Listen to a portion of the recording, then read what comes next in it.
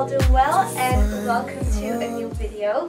First of all, I wanted to say that I've been very, very ill. Luckily, I'm almost better now, but that's why I haven't been uploading anything. In January, I'm going to continue with one, maybe two videos a week, but mostly one because um, I'm in my exam period right now. But in February, I'll be done with my exams and then I will continue with, uh, yeah, two videos a week, so that's very nice.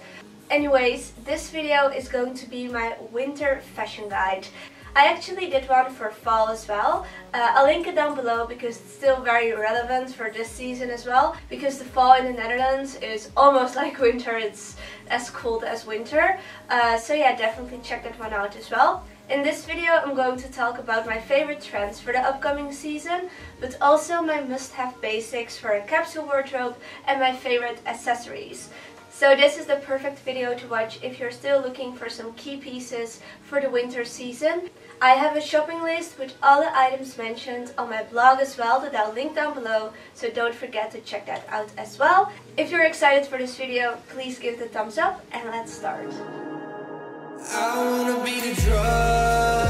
I'm first going to start off with five cool trend pieces that I think everybody should have in their wardrobe. These are my five favorite trends that I'm going to be rocking. I know there are like loads of trends that I'm not mentioning, but these are my personal favorites. So the first item I'm going to talk about is this leopard coat. I think this is probably one of the trendiest coats at the moment. I think every fashion blogger has one and I totally understand why. Personally, I love leopard print. I think it's a classic, but the key is to look for a very nice print and a very nice material. Okay, I ditched the leather jacket because it was sliding off my shoulders and it was so annoying when showing my clothing. I personally like a very realistic print. I think it looks way more stylish and way more classy if the leopard print is kind of neutral and it also goes better with my wardrobe. Also, I really like the hairy texture of this coat. Makes it also very soft and very cozy. This one is from H&M and it's a little bit longer. It falls pretty long on me, but I wanted a very classy leopard coat. So um, yeah, this one's perfect for me. I would personally combine leopard with white or with black, just because it would look very classy. So for example, this coat looks very nice with a black turtleneck underneath it. This is just a very sleek and black turtleneck and I think it will complement the leopard print even better. The second item that I'm going to show you is suede. Suede has been such a big trend recently. I feel like it started already like one or two years ago, but it's still going strong. I feel like suede jackets are just a little bit more interesting than your average black leather jacket, but it's still the same effect. Um, so this suede jacket is from Zara. It's super soft. Like I literally can't stop touching it. I really love this color. Um, it's kind of this khaki muted um, brown that I really like and it actually goes very well with my Gucci Dionysus bag and that's also the reason why I got it. Uh, a jacket like this would look good with anything Personally, I would style it with a white turtleneck. As you can see here, I think the colors complement each other perfectly and it's also very cool with a silver metallic skirt that I'm going to show you a little bit later. So speaking of silver metallic skirts, this is a silver metallic skirt. Um, I got this one from Pull and Bear. So these silver plissé, I think it's called, uh, midi skirts are huge at the moment. I've seen honestly almost every fashion blogger wearing something like this. Um, I think the skirts were first of all sold at Zara, but now you can literally get them anywhere. I saw them at H&M and this one is from Pull and Bear. Um, and I think this is something that you're either going to love or you're going to hate. Personally, I think it's very cool and I think it's very different. Uh, it's definitely a little bit of a man repeller item, not gonna lie. Don't wear this if you want to look cute for a nice guy or something, because they're probably not going to like it. But um, yeah, I don't give a fuck. Fashion has to be fun, right? I would style this with an oversized sweater. I think it's the key to style a piece like this with an oversized sweater and then tuck it in. And then with a cool jacket, for example, with this jacket that I showed you earlier, it would look super cute. So yeah. The next trend I'm going to talk about are sweater dresses. They're both pretty similar but they're in different colors and from different brands. Um, so the first one is this one from Zara. I got it recently. It was not in a sale, but I did find it at the sale section. Because I'm so petite, I can definitely get away with it as a dress. But if you're taller than me, then you definitely need to find another sweater dress. I feel like H&M um, do pretty long ones. So if you're very tall, go to H&M. If you're very small, go to Zara.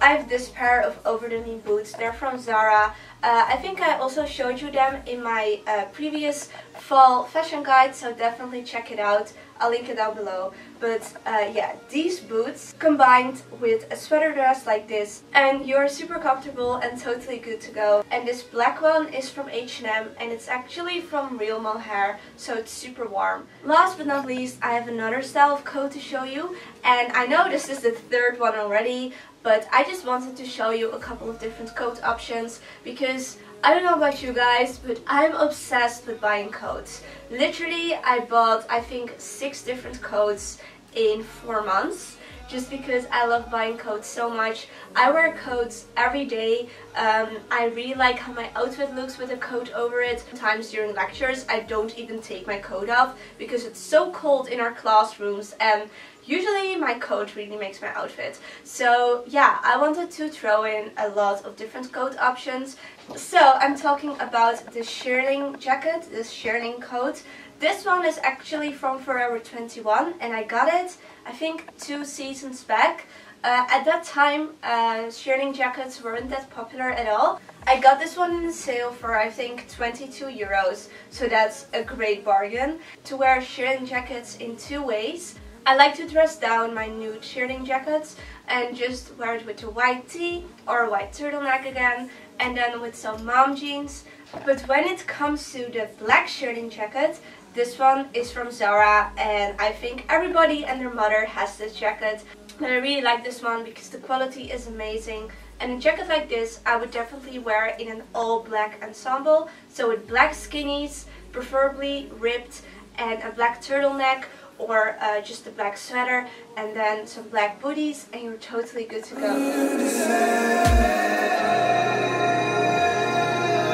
Now I'm going to talk about my 5 basics for a capsule wardrobe for winter. I don't have a capsule wardrobe because it doesn't suit me. I'm a fashion blogger. I get sent over so many items every week so it's not possible for me to keep up with a capsule wardrobe. But I do like to treat the money that I spend and the clothing that I buy myself as kind of a capsule wardrobe. So I just really like to apply these rules on me, but I'm not claiming on having a capsule wardrobe. So hopefully this is helpful for anybody that actually does have a capsule wardrobe or also wants to, uh, I don't know, spend less money on a lot of items and just invest in key pieces that will last you a very long time. I'm going to start off with items that I already mentioned a couple of times. A white turtleneck and a black turtleneck are just the same as a white tee and a black tee when it comes to your basics. In the winter it's just not warm enough to wear a tee, although I really like the look of a tee and a big oversized coat. Sometimes we just need a little bit of extra warmth and I think a turtleneck is just way cuter and way nicer than a regular long sleeve. This one is from River Island and it has a little bit of a bigger turtleneck. And this turtleneck is way more slim fitting, way smaller and it's very sleek and it's the perfect layering item. This one is from Brandy Melville. I think it's just so cool and so classy when you have a turtleneck on like this and an all black outfit with an oversized coat. For example, the uh, shearling jacket that I showed you from Zara with this turtleneck it's just, oh my god, I love it. The next basic item that I'm going to show you that you should have in your wardrobe for winter time are leather leggings. I have a very difficult body shape because my legs are pretty heavy, but I don't have wide hips and I have a pretty small waist and I also have a big butt. So, and I'm small. So it's literally the most difficult thing ever for me to find leather pants because they're usually not very stretchy and uh, you can't roll them up like I do with all my jeans. So yeah, it was just very difficult to find a pair that actually looked good on me. But I found a pair of leather trousers or leather biker jeans uh, from Zara in the fall also in my fall fashion guide but now I've also found a pair of leather leggings that I love even more. Again I would wear something like this with this oversized jacket and also with the black turtleneck that I showed you earlier um, or a black oversized sweater. I just think this would look good with any other all black outfit. The next item that I'm going to show you is a black blazer. I don't know about you guys, but I don't really like to wear cardigans. I don't know why, but I just never love them. I always feel like adding a cardigan to my outfit kind of kills it. However, I do want to stay warm and I do want to layer. And that's why I really like a long line black blazer for it. Because the blazer is also super warm I love this one. It is from Mango. I got it in a sale, I think a couple months ago or like, no, not a couple months ago. I got it in the summer.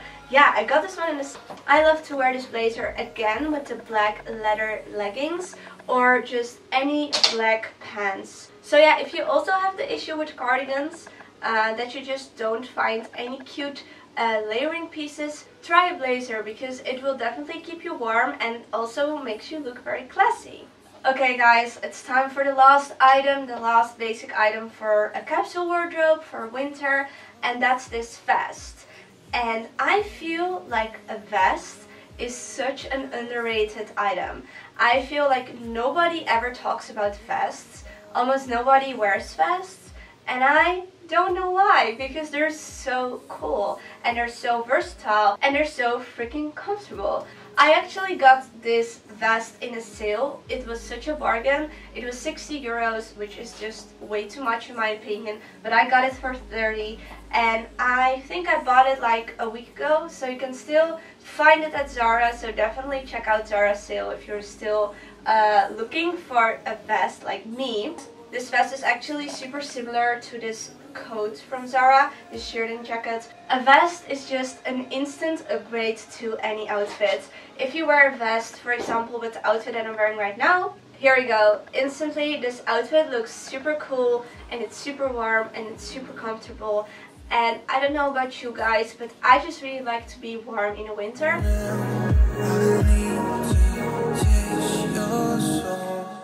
Uh, with that being said, I still have one section to show you and those are accessories investing in a good scarf. And for me personally, that's really the difference between fall and winter time uh, in the Netherlands. Because during fall I can get away with wearing my coat open, I don't have to protect my neck or my head with a beanie or something. But in winter I definitely need a scarf.